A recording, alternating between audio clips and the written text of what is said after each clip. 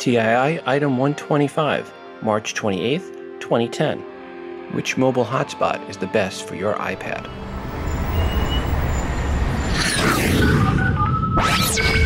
Welcome to Today in iPhone. I like it a lot. Today in iPhone. Beautiful iPhone, which I never have out of my hand and that I do everything with and has become an extension of whom I am. Today's episode is brought to you by the TII app, the official app for the Today in iPhone, iPad, and iPod Touch podcast. Just search for TII in the App Store. It's just a buck 99.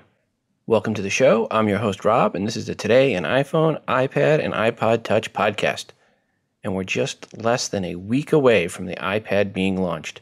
I will be waiting online for my iPad on April 3rd, and I'd just like to say this to Steve.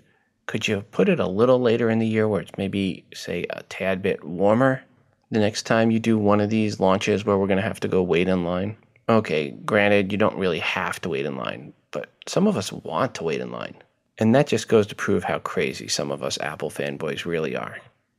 Well, as always, I would love to get your feedback when you're waiting online, so give us a call when you're online 206 666 6364. That's 206 Moondog. Or make a recording on your iPhone when you're online and then email it to me at todayiniphone at gmail.com. As in the past with these launches, we will be playing your feedback from waiting in line in upcoming episodes. I am going to take Saturday and most of Sunday to play around with the iPad before I put up a show, so I will put up a show late Sunday night. There won't be one on Saturday, but it will be late Sunday night, so it'll be about a day and a half after the iPad gets in my hands. That, of course, also means for those of you that do get an iPad, you have some time to call me and tell me what you think about the iPad, so we can mix that into the next episode as well. All right, let's get into the episode. First, I want to thank Jim for sending in the artwork for today's episode. He writes Hi, Rob. There's not much to it, but I think it's visually appealing. Created with Doodle Buddy, a free app. Regards, Jim in Federal Way, Washington. Well, Jim, thank you for the artwork, and I did appreciate it and do like it. And folks, if you want to go ahead and download it, you can through the TII app. Just go to the extras in episode 125. Okay, cue in creepy guy music and a two and a three. In this segment of How Wrong Were They? We have a longer quote, which goes, quote, the iPhone is certain to fade into history as another cool Apple innovation that others soon rush competitive like products to market, blowing away any significant lead Apple might have. The iPod MP3 player is an industry Apple essentially created. The iPhone isn't. Too many major players are in the mobile phone market who have and will bring iPhone like products to market over the coming months and years. LG has already done so with the LG Voyager phone, and now Microsoft's plans for Windows Mobile 7 OS have been leaked and described in considerable detail by insider Microsoft blogger Nathan Weinberg. Unquote. Mitch Ashley, Network World, 11th of January 2008. Yes, January 2008. Wow is all we can say to this one. Well, I guess we can say a little bit more. It's one thing to be wrong before the fact, but after the fact, oof. Now we're going to keep this music going just a little bit longer to talk about this next story.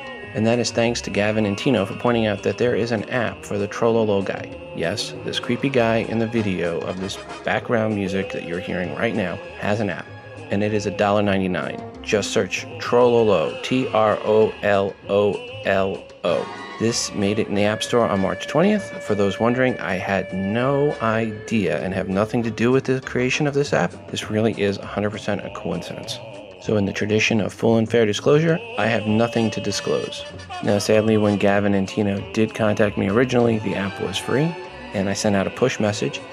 Unfortunately, you probably didn't get many push messages this last week, and that was because we had an issue with push going out, and I didn't realize there was an issue with push. So, messages I had sent out during the week, nobody got. Now, I want to thank a couple people for saying, Hey, I haven't gotten any messages this week. And I said, Really? I just sent some. And, and we tried some more, and on Friday, we finally got it working. So, late Friday, you probably saw your first push message since Monday. Now, version 1.5.1 with the bug fix for the issue where push toggles on and off each time you open up the TII app. That has been submitted, as I mentioned before. We're still waiting for Apple to approve it. Apple, please approve the TII app version 1.5.1. It's just a bug fix. Thank you. Well, as I mentioned on the last episode, because of time constraints, I kind of cut out a lot of the listener feedback. So to make up for it, this one, we're going to kind of do a one for one here. As we do the news, first we'll play listener feedback, then we'll do news, then we'll go feedback, then news, and yada yada all the way through. So let's start with the first piece of feedback. Here we go. I just heard episode 123. Somebody asked a question about a Safari um, plugin for Flash. There is one. Go to Cydia, look for the source iMobile Cinemat. Then after that, go to your source and you go on the iMobile Cinemat, and there's a plugin there that you can play. Um, you can uh, install and you can play uh, Mo's video on Safari. This been out since probably 2008, and I've been using it ever since. Anyway, great show. Have a nice day. Thanks for the feedback. And that was back for episode 123 when we were talking about plugins, if there was one out there for Cydia for Flash. And it sounds like there is. Speaking of past episodes, I guess my comments on episode 122 were taken out of context. And that was per my comments around the 40 minute, 50 second mark, where I said to the listener that was complaining about my voice or didn't like my voice that he should go listen to App Slappy. I was not in any way saying Scott had a fake voice or anything like that. I was simply offering up another iPhone podcast for that person to go listen to. That was just the first one that happened to pop into my head, and that was probably because I had just added him to an Audible campaign. I've been working with Scott for the past year, almost two years, on Audible campaigns with my day job with Wizzard Media. And I've talked with Scott, and we're cool. So I just want to let everyone know there was definitely no slam there intended at all in any way, shape, or form towards App Slappy or Scott Johnson. Okay, in the news, if you're getting an iPad and are a Lady Gaga fan, there are some cool iPad decals of Lady Gaga over at hardwaresphere.com. Expect many other cool ones to pop up in the next few weeks. I will have a link in the show notes if you would like to check that out. And if you, by the way, pimp out your iPad, uh, please send photos. Would love to see some photos of your pimped out iPads. Hi, Rob. This is Karen in Illinois. I called last fall regarding a calendar program, which I found that Calengoo is probably one of the best for my purposes, and I was wondering if anybody else has heard anything about Calengoo. It is the closest thing to Datebook 6, which is on the Palm operating system. So um, I was hoping that that company would be able to make one for the iPhone, but no such luck. At any rate, my second question is I would like to know what size of memory does the iPad, will it be best to get? Will the programs and photos, etc., take up more memory than it would on an iPhone. I know that the it's running on an iPhone operating system thanks to you. However, um, I'm also wondering with the screen being larger if that is going to make a difference in terms of the needs of the iPhone. It's kind of or the iPad. It's hard to figure out what size to order or pre-order and I was wondering if you had any comments or speculations about that. Thank you very much. Bye bye.